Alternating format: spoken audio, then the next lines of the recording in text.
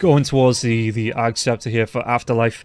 I'm surprised. Oh, Collapse. He's going to be able to get the blink off now as well. Do they want to try and engage? The arrow comes through Collapse. He has to back himself away from it. They get the silence off. There's going to be Larl with his BKB. Might be able to get the kill, but Miposhka's already going to go down. And Gilgir, he's going to follow Gilgir. Well, Miposhka buys back. Pantomim still dead for the next couple of seconds now as well. They're going to snowball in, but it's only going to be onto Illusions. Now Collapse, he's looking for that blink. He does have it, but the Moonlight Shadow is going to be there, and they're moving themselves away here one move.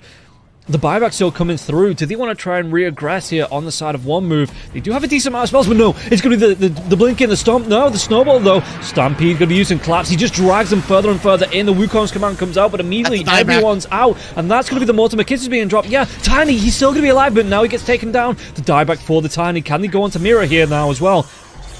The tree, it gets caught. No, his own teammate, he cuts the tree. And Munkushi is going to be stunned even through the BKB. Munkushi locked down by the net. And he can go on and the fireball is going to be dropped by the Dragon Knight now as well. Munkushi, can't, can he get himself away from this? Yatoro's going to be alive. chasing. But now there's going to be the blinking mirror. Do they have the damage even through the mischief to take him down? The stun, the damage though, it's still going to be enough to get the kill into Munkushi. Snowball comes through. They take down Mira in revenge. And but Miposhka comes in with the cookie to get the kill onto Pantomim. And Yatoro with the song.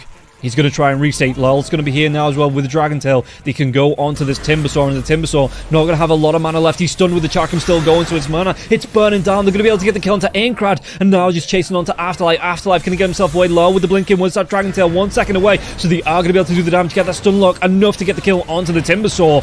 Larl, he might pay with No, his life. Aincrad. No, he's not going to go down. And now the silencer comes out. Tusk, he goes too far. He's dead. Oh no, why did he do it? Command